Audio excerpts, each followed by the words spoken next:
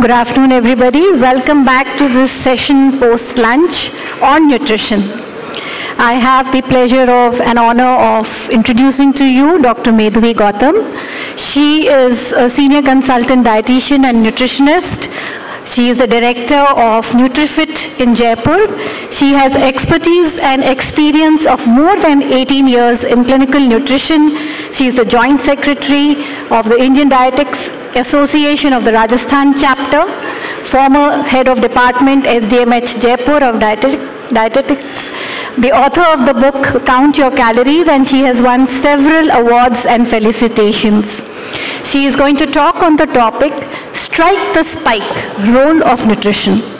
Over to you, Madhavi. Thank you so much, ma'am, and thank you very much. Uh, I know it is uh, nutrition ka session just after the uh, lunch is absolutely not a very good thing to go, but we are here with this, and I will actually rush on couple of slides because I have to catch my train at four o'clock. So I'll be rushing on some slides, but I'll try to uh, make it maximum of it. So because now after lunch when we are here, we know how we have to, you know, think about the carbohydrates, how we have to think about the glucose variability and how we have to manage our sugars. So that's exactly what we have to see here. Uh, prevalence of diabetes in India we know is quite high. 1 in 11 adults have diabetes. Uh, then again India accounts for 1 in 7 adults are living with diabetes worldwide and almost 1 out of the 2 adults are underdiagnosed. Uh, traditional methods, uh, uh, which has been age-old methods for monitoring glucose has been A1C, postprandial blood, uh, postprandial capillary plasma glucose and the uh, preprandial sugars. Now, we also talk about the present concept, which is with these traditional methods, there should be also continuously continuous glucose monitoring and glycemic variability has to be checked. G glycemic variability is very important with HbA1c. What is glycemic variability is like diabetic patients with similar mean glucose levels often exhibit differences in the terms of both the number and degree of glucose excursion. So this phenomena is actually termed as glucose variability. Now when we see these two graphs, subject 1 and subject 2 both have got 8, 8% uh, of HbA1c. But subject 1 has higher peaks and troughs while subject 2 has a regular uh, uh, system of glucose variance. So this different patterns of glycemic variability in two patients with the same HbA1c has been noticed and that is why it is always important to have a glycemic variability done along with the A1C. The adverse out outcome of uh, very glycemic variability can be uh, diabetic retinopathy, nephropathy, peripheral neuro neuropathy, hypoglycemia, cardiovascular dis dis disorders, and congenital disorders. Now when continuous glucose monitoring, an important aspect, it is very important aspect in, uh, and it is ever since when I, I was a student, we also uh, always learned this, that a patient should, and this is way back in, uh, uh way back 20, 25 years back when we were taught, we were told that patient should do a continuous glucose monitoring by the and that is where the kits came in glucose kits came in. But this is a very wrong practice. Normally people don't even get their uh, blood sugars checked even once in a month. They just go like that only. Patients ka lagta hai ki yes, I'm doing good, I'm having my good dose of insulin, I'm having my good dose of OHS and they are not doing a continuous glu glucose monitoring, which is absolutely not done. Um, if you are doing it, there are a lot of advantages, time in target glucose range, then glycemic excursions, your daily profiles can be checked, glucose variability can be checked, and patterns of hypo and hyper, hyperglycemia uh, can be checked. So this is basically an Indian recommendation of glycemic variable, uh, the continuous glucose uh, monitoring leading to glycemic vari variability, which is like uh, we have to understand that the the main time in range readings has to be uh, in consideration, which we are taking here, not the above and the below one, but the time in the range. So we, there's a correlation between glycemic variability and HbA1c. Emerging evidence suggests that the time in range is inversely correlated to the risk of developing micro and macrovascular complications in diabetes. Spending around 70% of TIR corresponds to HbA1c of 7%. An increase or decrease of 10% of TIR corresponds to change in the HbA1c of approximately 0.5% in the same directions. So the MAGE is in the patients without diabetes, diabetes is nearly 30 to 40 milligrams per dl and the cutoff value of MAGE for cardiovascular because we know that this is the gold standard way to um, know the glycemic variability and this cutoff value of MAGE in, in the cardiovascular events is considered nearly 60 to 70 percent milligrams per dl. So this pyramid shows uh, uh, the uh, CGM-based targets for different uh, diabetic population. The first is the type 1, type 2, then it is uh, older high risk of type 1 and type 2 diabetes. And the third one is for the pregnancy type 1 diabetes and the fourth one is gestational and type 2 diabetes where we can uh, constantly see for the age, this is for the age of more than 25 years, that A1C goal is 75% and then set TIR target is approximately 60% for the patients. Factors that influence the glycemic variability. The metabolic variability is one of, these are the prime factors, metabolic variability, meal, meal variability. Because uh, we know that the patients with diabetes are not very particular about the physical activity, not very particular about the diet intake, what they take. Um, it's uh, I, I am I am a new dietitian and I'm I'm into, into this field from so many years and I feel so um, uh, disheartened when I see the profile of diabetics when they come to us with extremely adverse uh, conditions. And uh, then they understand and realize that this is the kind of diet protocol we should have done. I mean we should do but then it is too late to get it done because then they are caught into so many other uh, comorbid complications. So meal variability is very important. Then glucose monitor monitoring variability is again one of the factors. Lifestyle, lifestyle and the compliance to the diet. I mean this is extremely bad when it comes to the lifestyle and compliance and insulin variability. Manaya, to they put they take too much of insulin. As uh, we have to go for a nice lunch, we have to go for a nice dinner. We'll increase the dose of insulin. And the doctors are never in in picture. They will never ask the doctor कि आपको कितना dose मेरे को ले लेना चाहिए. They are doctors themselves now. So they increase the dose of insulin, they decrease the dose of insulin. It's absolutely on their discretion. So key components of managing the glycemic variability, first is nutrition, physical activity and pharmacotherapy. They play a synergistic role in the management of diabetes. Wherever it is concerned, uh, individualized eating plans is a must, the plans should be customized, then diabetic specific nutrition should be given to the patient, glucose monitoring, weight management. Weight management is a very integral part of any diabetic, any, any diabetic's journey. They shouldn't be going high, very high on weight, they shouldn't be going very low on the weight. That's how it is oral hypoglycemic agents and injectables. So now this, uh, where does the diet plan as an, where, where it plays an important role. So now when we see this, there are uh, lifestyle related things, diet, diet may specifically you have to see the pattern of diet, how they are doing, going about, the composition of the diet and the quality of the diet. Physical activity, timing of exercise is all haywire, then your duration of exercises and also intensity of exercises. Too high, uh, uh, if we are doing, if we, for instance, if I say somebody who is a diabetic will, I, I should not be any time recommended to do a heavy intensity exercises and also never recommended to go very, very casual on the exercises. So it should be a medium pace exercising pattern also. And that's exactly what goes wrong here again. Then stress management. That's an abito, I have to understand what stress management, I'm into, into a major stress right now. Stress management is an integral part of any diabetic management actually.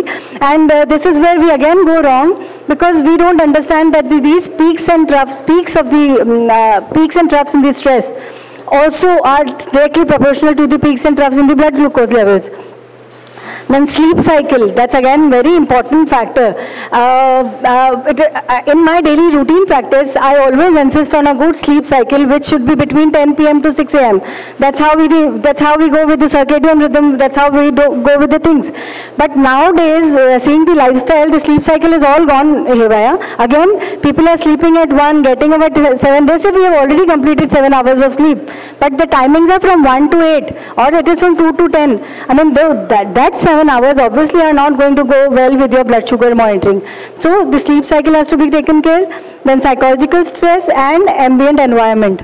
Then there are ph pharmaceutical delivery related, then uh, choice of regime of the drugs, then choice of the preparation of the drugs, then drug delivery, and uh, in biomedical, then again gastrointestinal factors comes in where the main primary factor is the diabetic gastroparesis. We have to understand that. Uh, uh, then malabsorption and diarrhea which can be both diabetic and infective. then uh, your neuroendocrine, your drug kinetics, these all are the important key role key role points when the diet is is taken uh, diet is into account for a diabetic patient. Glycemic variability can be reduced by the intake of low uh, GI foods. So consumption of low GI meals is strategic approach in improving the overall glycemia and increasing the fat oxidation in the Asian uh, consuming high carbohydrate diet. Now we as Indians are definitely a carb eater. We concentrate on more of carbohydrates. When I when we take a 24 hour recall of a patient, the only thing which comes out is कि सब खाना खाया, हमने चार रोटी सुबह खा ली, चार रोटी शाम को खा ली। दैट्स हाउ इट इज़ और अगर उनको कहते हैं कि साहब आपको अपनी रोटी कम करनी पड़ेगी, सब्ज़ी सलादें बढ़ानी पड़ेगी तो उनको वैसे ही शुगर बढ़ जाता है। ये सोच कर कि मुझे रोटी कम करनी पड़ेगी। Because we are as Indians are more dependent on carbohydrates as a core of diet and which is where we are going wrong and specially when it comes to the uh, diabetic patients, glycemic index and also what is even more important now is the glycemic load because uh, where we see uh, in glycemic load we are seeing the uh, amount of carbohydrate and then that is then that is multiplied with the glycemic index of that particular food. So this is the chart of glycemic index. The scale ranks of the carbohydrates by how much they, they raise the blood glucose levels in compared to the reference food. So in an ideal macronutrient distribution, what we see for remission of newly diagnosed diabetics, the overall 49 to 54% should be the amount of carbohydrates, 19 to 20% should be protein, 21 to 26% fat, and 5 to 6% dietary fiber. For remission of pre-diabetics, it should be 50 to 60% carbohydrates, 18 to 20% protein, 21 to 27% of fats, and 3 to 5% of uh, dietary fiber. Uh, for preventing prognosis of uh, progression of diabetes. For non-diabetes, it is 50 to 56 to 60 percent. For diabetic, pre-diabetics, it is 54 to 57 percent. While for uh, for proteins, it is 14 to 17 percent and 16 to 20 percent for the both cases. Uh, fat is again 20 to 24 percent for both cases, and for dietary fiber is 3 to 6 percent for both the cases.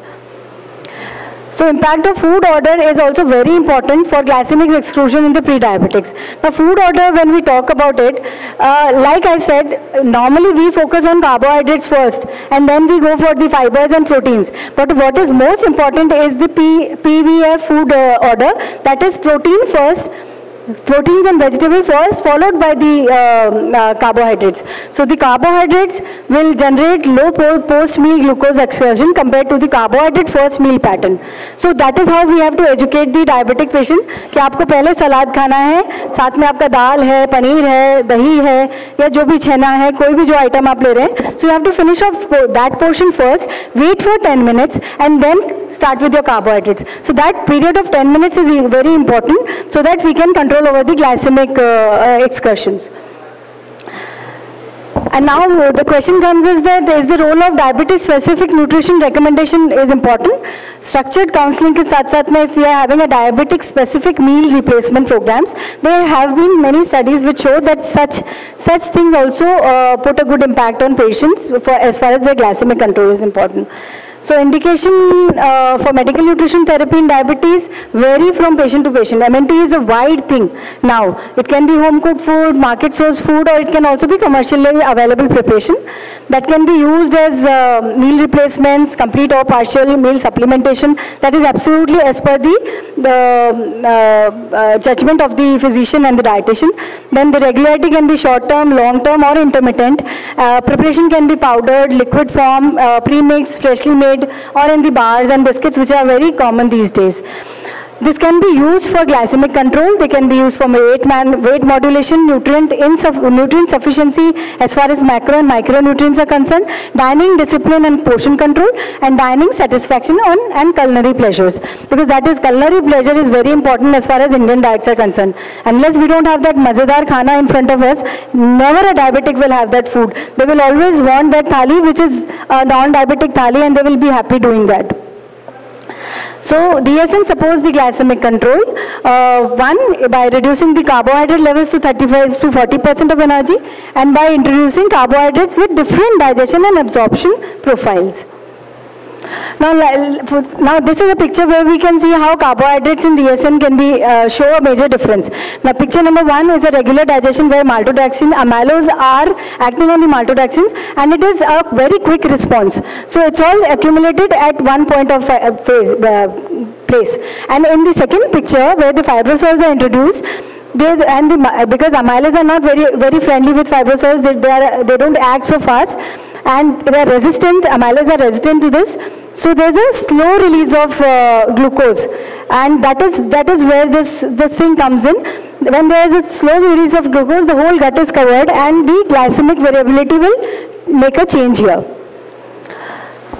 So uh, there has been many studies which shows that DSN, uh, a good impact of DSN on glycemic variability, especially in the critically ill patients with hyperglycemia. Um, uh, the study examined whether the diabetes specific formulas improve the glycemic control of these patients and uh, it showed that diabetic specific formulas achieved a reduction in the glycemic variability relative to the standard formula in the first week of ICU patients. Then there was another study where the timing of the DSN and the impact of glycemic variability was seen Com uh, to compare the effect of these two, there were 123 patients of type 2 diabetes which were taken into account for four weeks. After a lifestyle intervention with partial or um, partial meal replacement and one group was with just the lifestyle intervention. 13.8% of uh, uh, improvement was there in the TIR observed in intervention group compared to 7.3% in the control in four weeks. The study showed that the patient with lifestyle intervention with the meal replacement led to a significantly greater improvement in the glycemic variability compared with the patients with only lifestyle intervention and suggesting that lifestyle intervention with the meal replacement is an effective treatment treatment for elevated glucose excursion. Then there have been a couple of more studies uh, where the pilot study was evaluated on the impact of diabetes-specific formulas, especially shakes, used twice daily by people with type 2 diabetes on glycemic response ass assessed by continuous glucose monitoring. And the result showed that the subject who replaced the breakfast and snack with DSN showed a reduced nighttime glucose variability, compared with the baseline period and subjects who, were, who replaced one meal and one afternoon snack per day with DSN significantly reduce the craving of starchy food compared with the baseline food. Because whenever you're talking to a diabetic, this is one thing which always happen, that there were major craving for sweet, there were major, they, they say that if we don't have, we think that we might die also. So that kind of cravings they have, their, their blood sugars are definitely not going haywire at that time. They are in no hypoglycemic picture, but the cravings are very high. So in case we substitute such kind of replacements with their diet, so that might be a helpful thing. Indian evidence with the DSN, uh, total of 120 overweight or obese individuals aged 30 to 65 years with type 2 diabetes were randomly allotted to intervention uh, and control groups for 12 weeks of study and the results showed that there was a significant reduction in the MAGE values of intervention group compared to the control group. A diabetic specific nutritional supplement was useful in improving the glycemic control and reducing the glycemic response in overweight and obese Asian adults with type 2 diabetes. So I, I will just skip one, uh, this one and then I'll come to the next.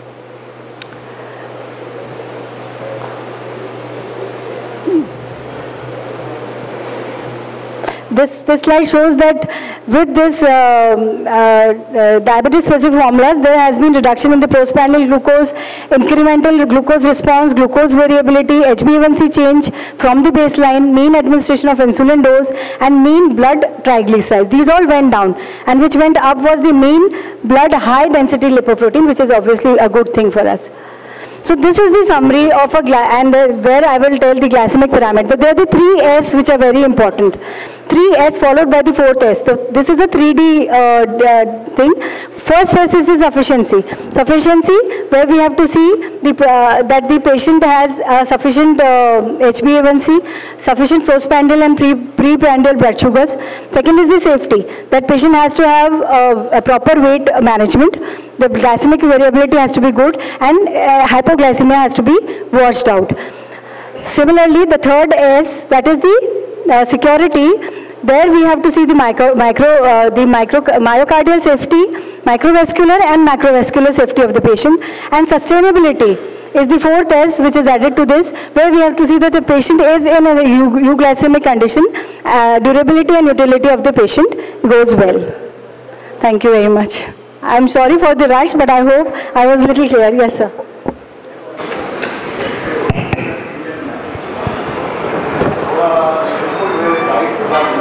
जैसे Indian diets की अपन बात करें तो what the simplest way we can educate a patient is one to have a small and frequent eating, meal eating pattern.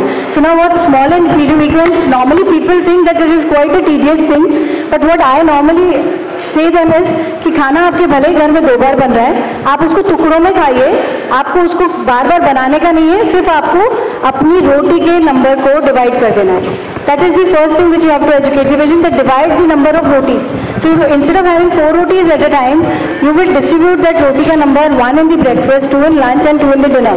That's how it is. Second thing which I said, protein and vegetable first, then carbohydrates. So we have to highlight on the importance of taking raw and crude vegetables and fruits in the diet.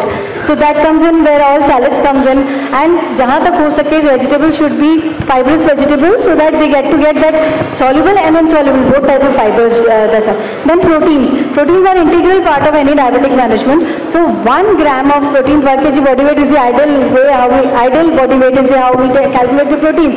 And then we have to distribute proteins in each meal. So that's how it is कि आप उनको ये समझा दें जैसे नाश्ते में आपने अगर दूध ले लिया दही ले लिया तो दोपहर में आप फिर से दही या चना ले लो रात में आप दाल खा लो बीच के स्नैक में आप अंकुरित खा लो या आप या आप चना खा लो और सुबह के नाश्ते में भी आप कुछ बादाम ले लें कुछ इस तरह सुबह चाय के साथ बाद में आप कुछ बादाम है ऐसा कुछ ले लें।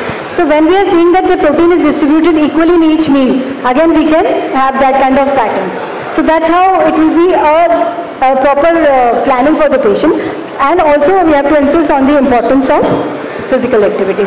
Physical activity is a must. That is again where the diabetics are lacking. By default, they don't want to walk, they don't want to move.